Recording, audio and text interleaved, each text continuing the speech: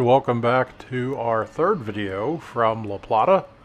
Uh, this one will also have three trains. Uh, video two we took mostly from the railfan platform east of the station. We are now back at the station uh, sitting on the eastern portion of the building. Uh, for those of you that watch the virtual railfan cameras you'll recognize the railing up there heading out to the Amtrak platform. Uh, this first train is Z-WSPN-BY. It is UPS and LTL intermodal from Willow Springs, Illinois to North Bay, California.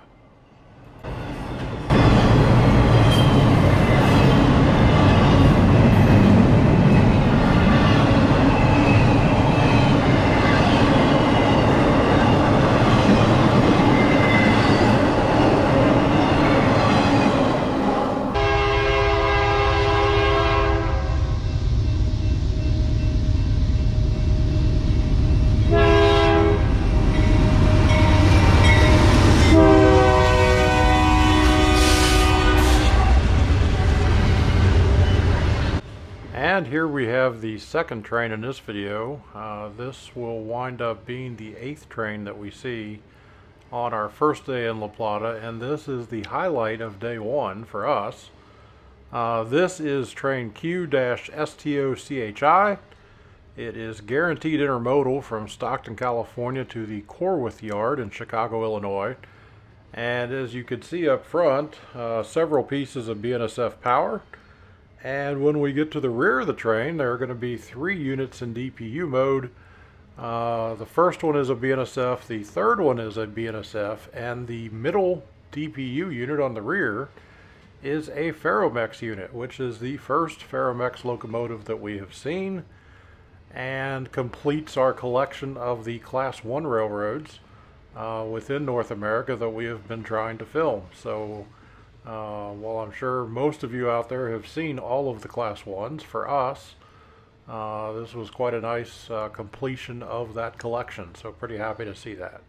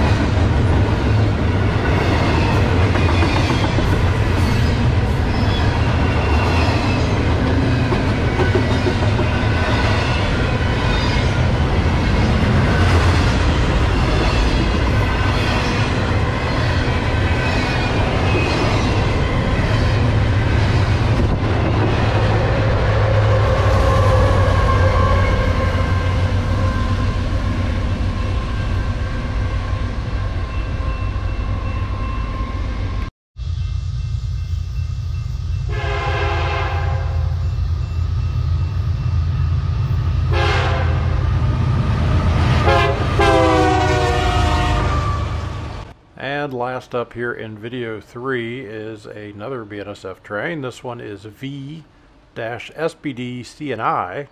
It is vehicles, as you can see in the auto rack cars, headed from San Bernardino, California to Chicago, Illinois, where it will go to the Canadian National Yard.